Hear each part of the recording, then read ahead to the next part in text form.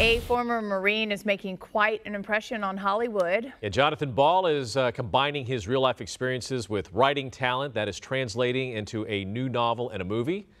Jonathan, uh, we welcome you today. This is the book. It's called uh, Operation Jericho. So, how does one go from being a fighter to being a writer? I like that. I, uh, I've always written. I did it as a hobby as a kid. Wrote my first novel. It was 500 pages and scrapped the whole thing because it was drivel. And I was later approached um, getting into the Hollywood thing and decided to pursue it professionally and, and start writing stories, just imagining stories and trying to see the world through different perspectives. And this is your first book, opera, published book, Operation Jericho. Um, you were telling me that it's fiction, but it's based around some of your experiences, I would presume, or stories that maybe you've heard or Well, imagined. They always say write what you know.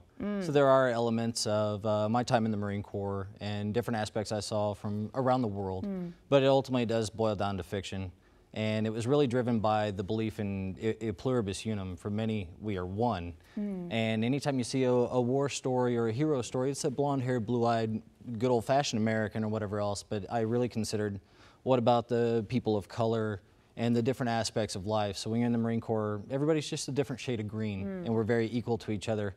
So I imagined uh, the, the plight of an Arab American or a Muslim American having to go fight other Arabs or, or Muslims, the internal struggle and the, the external struggle, the, the, the battles they face, the love between brothers, romantic love, love of mm-hmm. country, and what somebody is really willing to do to, to sacrifice to, to preserve innocent life. Now, you've, that- you've optioned this off for a film now, right? Yes, sir, it has been optioned for film. So, when you do that, the process, we've heard this story a hundred times in Hollywood. A lot of times the author kind of, you know, his story kind of gets changed by a screenwriter. Are, do you still any, have any artistic control over how this is going to turn out? I am film? the screenwriter. Oh, okay. I Smart maintain- move. I maintain uh, creative control on it.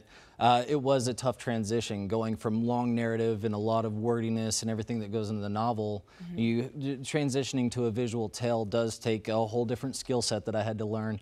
And great mentorship by uh, Ethan Rains, Jody Hart, uh, wonderful guys in the industry that really kind of kicked me in the right direction and uh, helped me to adapt it. And when can we find the book? When's it coming out? August 15th. next August Tuesday. 15th, all right, so Yes, just around the corner. Well, this is a big deal. Uh, we'll look for it, obviously, on the big screen eventually as well. Before we let uh, Jonathan go, um, he showed up with boots and a cowboy hat. He's from Texas. Texas And I was asking him if he was going to wear his hat on set, and he said no, but I said you can bring it. But Gotta he it had on. it flipped All right. over. But wait, explain why you have it flipped that way. It's got a curve to it, so if you set it down flat and you turn it into a big old sombrero, so you put a little curve That's to right. it. and It's then- a faux pas if you wear it the other There way. you go. Yeah, Looking there you good. go. All right, I appreciate Ball. you. Congratulations on the book, the short film, and Thank you most of all, much. thank you for your service. Yes, Absolutely. Thank, you guys for so having me on. We All right. really Appreciate y'all. appreciate it. All right.